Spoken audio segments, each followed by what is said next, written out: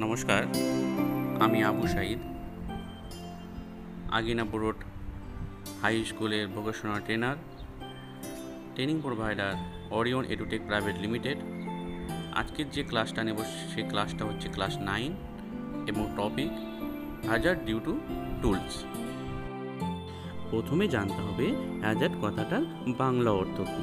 তাহলে বাংলা কথাটার বাংলা অর্থ হলো বিপত্তি। তুমি কোনো কিছু কাজ করছ, কাজ করতে করতে কোনো বিপত্তি আসতেই পারে। তাহলে এটাকে বলছে hazard hazard due to tools তাহলে প্রথমে যে টুলসটা আছে সেটা হচ্ছে ড্রিল বিট তোমরা এর আগেই পড়েছো ড্রিল বিটসে কাজ কি?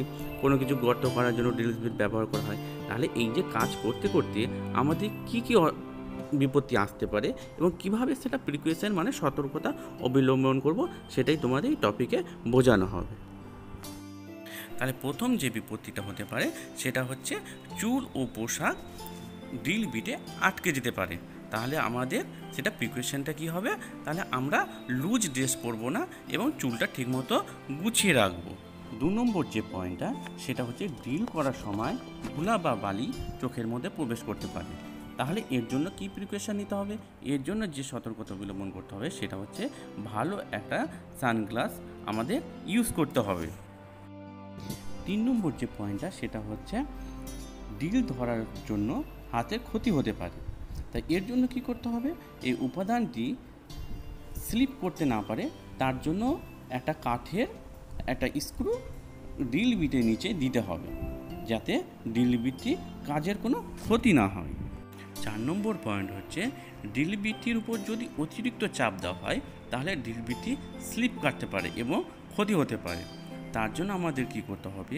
যেরকম পদার্থ বা যেরকম ধাতু থাকবে, সেরকমভাবে আমাদের চাপ দিতে হবে এবং ড্রিল বিটটি যেন খুব তীক্ষ্ণ হওয়া উচিত।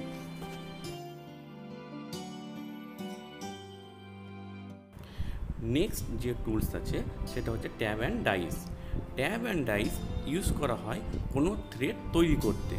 কি আকৃতির থ্রেড হবে, কি আকারের থ্রেড হবে, সেটা তৈরি করতেই ট্যাব অ্যান্ড ডাইস ব্যবহার করা হয়।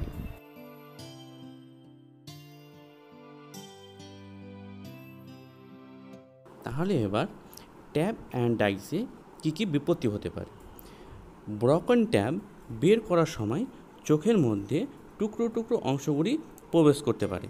তার জন্য আমাদের কি করতে হবে? একটা ভালো চশমা ইউজ করতে হবে আমাদের দুই নম্বর যেটা পয়েন্ট সেটা হচ্ছে থ্রেডগুলোর ধারালো জিনিস দিয়ে আমাদের হাত কেটে যেতে পারে। তার জন্য আমাদের থ্রেডগুলি যখন আমরা করব তখন তাড়াহুড়ো করে করা উচিত না। আমাদের ধীরে ধীরে করতে হবে।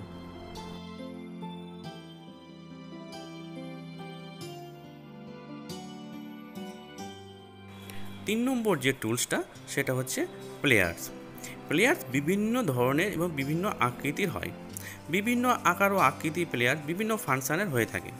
এর মূল উদ্দেশ্য হচ্ছে ম্যাটেরিয়ালসগুলোকে বাঁকানো বা কোনো ম্যাটেরিয়ালসকে আটকে ধরে রাখার জন্য। কম্বিনেশন প্লেয়ারের একটি অংশ আটকে ধরার জন্য এবং কাটার জন্য চোয়াল রয়েছে। এর প্রধান বিপত্তি হলো, এই প্লেয়ার দিয়ে কোনো কিছু কাটার সময় বা তার কাটার সময় যে তারগুলো তীব্র গতিতে চোখের দিকে ছুটে আসে। এর জন্য আমাদেরকে একটা সুরক্ষা চশমা ইউজ করতে হবে, যেন সেই ছোট ছোট টুকরোগুলো আমাদের চোখে আসতে না পারে।